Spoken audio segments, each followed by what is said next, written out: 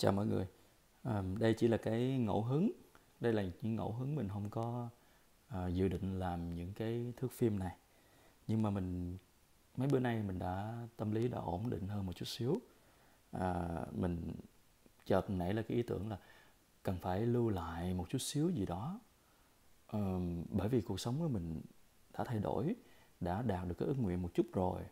Ờ, à, thực sự mình muốn dẫn bước cho các bạn trẻ đi sau.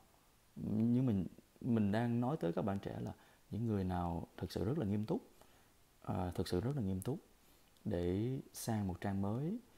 À, và nhất là mình nói tới những người nào trong túi lúc ra đi hoặc là lúc đang chuẩn bị bởi vì bộn bề cuộc sống không có tiền không có được nhiều không có được bao nhiêu cả. Tại vì làm nên từ những cái công sức chân chính không có không có một chút xíu nào lương lẹo trong cuộc sống, thì bạn không có đủ tiền để bạn lót bạn, đường bạn đi đâu.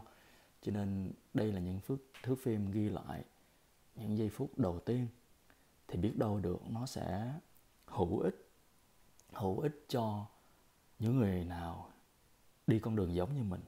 Còn các bạn khác có thể buông và đóng video này lại, không cần không cần xem thêm nữa. À, bởi vì khi có tiền lót chân khi có tiền lót chân thì mọi thứ thực sự là trên đời hiện tại đây của chúng ta suôn sẻ và dễ dàng dữ lắm. Đây là cái căn phòng nhỏ của mình. Rồi chúng ta xem các hoàn cảnh xung quanh. Hoàn cảnh xung quanh. How can I change? How can I change?